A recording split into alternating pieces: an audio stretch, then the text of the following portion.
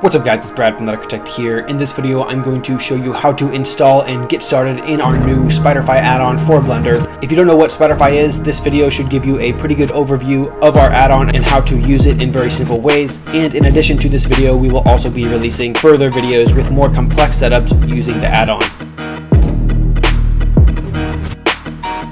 Anyways guys, let's get started. Here we are inside of Blender. Let's go ahead and install the add-on. Once you have downloaded the install file from Blender Market, all you would do is just open up Blender here and just go to Edit and then Preferences and make sure that add-ons here is selected and then just go to Install. And now we're just going to navigate to where our download has been saved. So for you that may be under Downloads, but I have it saved here in this file. So I'll just click on Spyderfy Install 2.9 and the 2.9 version works in both Blender 2.8 and Blender Blender 2.9, so just keep that in mind when you download. And we'll just go ahead and select the install file and click install add-on, and it should pop up here, but if it doesn't, you can just search for it in the uh, sidebar here. So we'll just go ahead and press Spyderfy, and as you can see, this is our add-on here, and we'll just click on the checkbox, and that will enable it in our user interface inside of Blender. So I'll go ahead and close that, and now Spyderfy is installed in our right toolbar here. If we just go ahead and select it, as you can see, we have all of the different settings and tools we can choose from.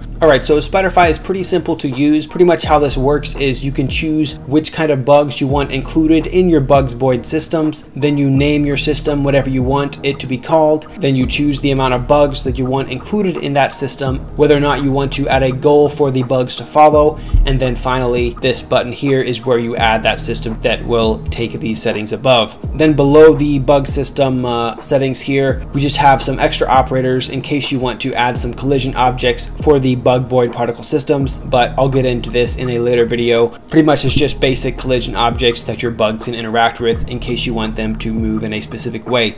Um, anyways, I'll just go ahead and go through a very basic example for the sake of this tutorial, but more in-depth tutorials will be coming soon. So first I'll go ahead and just delete everything in our scene here as usual.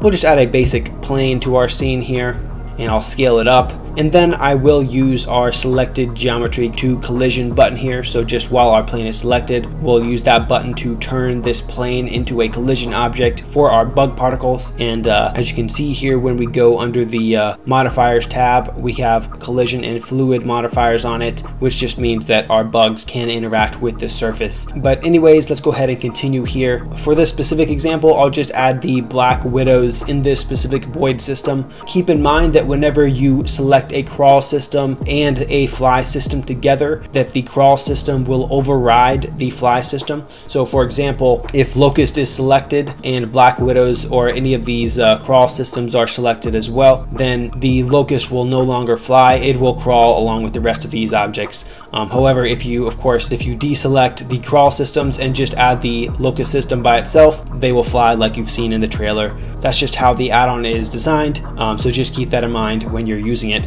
Um, of course, you can enable and disable a lot of these settings in the particle system tab inside of Blender. But anyways, let's go ahead and I'll continue with the addition of the Black Widow. So I'll go ahead and select it. Now we'll go ahead and name our particle system. It's very important that you name it every time. Otherwise, the script is going to give you an error. Again, that's just how it's designed so we can uh, organize everything a little bit better. So let's go ahead and just call this uh, Widow attack. And now below this, we can choose the amount of bugs that we want included in our system. So we'll go ahead and maybe uh, change this to 40 just for the sake of this example. And then choose here whether we want to add a goal for this specific system. Pretty much what the goal object is going to do is it's going to give the uh, bug something to follow and move toward in the world. So generally I want to add a goal to most of the bug boid systems that I add. So we'll go ahead and select this. And finally, we'll just choose our 3D cursor where we want the bug boid system to be and click on add bug system.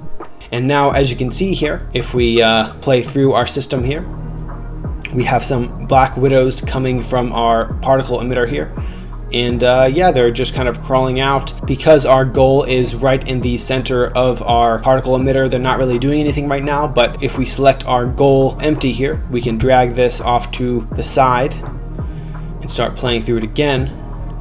And now as you can see, they kind of tend to move toward the goal object um, with the exception of some of these going off to the side here. But of course, you can adjust these uh, settings in the Blender particle system panel. Um, there are a lot of different things you can do here. You can, you know, scale up your particle emitter to get a wider distribution of bugs kind of crawling everywhere. Um, you can, you know, move your goal object and animate your goal object to wherever and uh, get a little bit different uh, distribution of bugs for the scene, but it totally depends on the look you're going for. As I said earlier, I'll go ahead and just go to the Blender particle system panel here just to show some of the main settings that I play around with when I'm creating some of these shots. So of course you have, um, you know, your general particle emission settings here. I'll go through a lot of these settings in more detail in future videos, but some of the main settings that I play around with here are the Boid Brain settings. So for example, right now, these uh, spiders are crawling generally toward our goal object here. However, if we want them to take a little bit more direct route, what we can do is we can go to the Boid Brain settings here under the particle system tab, and we can move goal to the top of the list. And what that's going to do, as you can see here, if we scroll up and bake the cache, it is going to make the bugs have a much higher priority to get to the goal object. So as you can see here, they're not distributing off to the side here. They're pretty much taking a almost direct route to the goal object. So depending on the look you're going for, you can play around with the Boid settings. I'll go ahead and delete the bake here and move the goal back down. We've tried to choose default settings within Spyderfy that work for most systems. However, you may need to adjust a few just to get a little bit different look. Some other things I like to adjust as well are uh, maybe the render size of each particle and the scale randomness. So for example, if I want to scale up the bugs to make them a little bigger, or if I want to make them a little bit more random in size, as you can see now we have some smaller spiders included in the distribution, and uh, that will help a lot with some realism if you're going for a more realistic look. Also, under the movement tab here under physics, you can change, you know, your land speed, the uh, land acceleration. You can change if you want them to jump or not. You know, you can change all kinds of settings, but again, the default should get you started in a pretty good direction. But uh, yeah, that's pretty much it here. One more important thing is that you need to bake your particle system whenever you're experimenting with it. So what we can do here under the particle system tab, we just go ahead and select bake. Now all of the particle movement is baked into the computer so that we can uh, see exactly what it's doing. And whenever you want to change a setting to experiment further with different options, you would just go to delete bake and then you know change whatever setting you want. Maybe you want to change the acceleration or something or even if you you know move your particle system you would just change that and then you would just go up to bake again and it will bake it pretty quick as you can see there within a few seconds. And uh, now it has a totally new distribution of spiders which uh, you know looks pretty cool. Alright guys, I know this video is getting pretty long, but finally to finish off this video, I'll just go to rendered view and show off the 3D work on these assets that Elliot Feys, the 3D artist that we worked with to create these assets, um, has done here. As you can see here, super detailed assets. I'm rendering in Eevee right now. Can maybe uh, turn the uh, brightness of our ground plane down a little bit here, just to get a little bit better idea of what we're working with.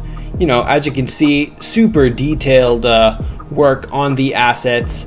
Really nice work by Elliot. I'll put a link to his Instagram page below, you know, rendering out an Eevee. These look really good. You can, of course, switch to uh, Cycles rendering engine as well, and they look, you know, just as awesome. I'd say look even better, but, you know, honestly, Eevee looks really good rendering these assets. All of the uh, renders in the trailer I uh, rendered in Cycles because we're going for a little bit more photorealism there. But uh, anyways, just wanted to show off the uh, detail there for those assets. But uh, yeah, I hope you enjoyed this short demo video. As always, feel free to leave a comment if you have any questions or suggestions in the comment section below. Stay tuned for more videos in the future, and I'll see you next time.